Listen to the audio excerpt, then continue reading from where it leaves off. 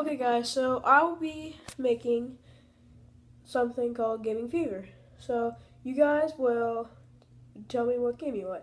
I got Halo 5, Madden, or Minecraft.